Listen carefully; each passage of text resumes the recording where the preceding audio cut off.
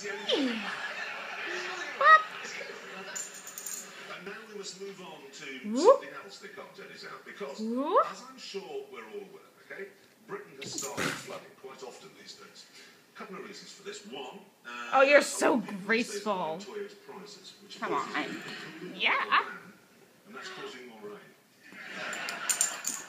And a lot of houses are being built on floodplains, so there's nowhere for the water to go. Yes, and because of this, we are forever seeing pictures of towns that have been flooded. Tewkesbury, Haywards Heath, Doncaster, they've all been hit. And whenever we look at these pictures, we can always see Come on. lots of marooned cars. Yeah. All right. I think you get the picture. Just catch touches. Simple that cars could be kept mobile Just even when the street is under three feet Get it. Now, obviously, you can't simply fit an outboard motor to the back like we did with our cross-channel Nissan pickup truck. Good. Because The Good. propeller would you just- you just wag your tail like a doggy, come on. you can't really use oars because that would be na, na, na. exhausting. Hmm, it all looked hopeless. But then I had Yeah. Yeah. Oh, good captain.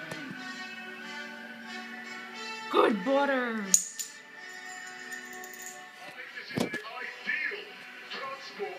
Go get it, Butters. You go get it.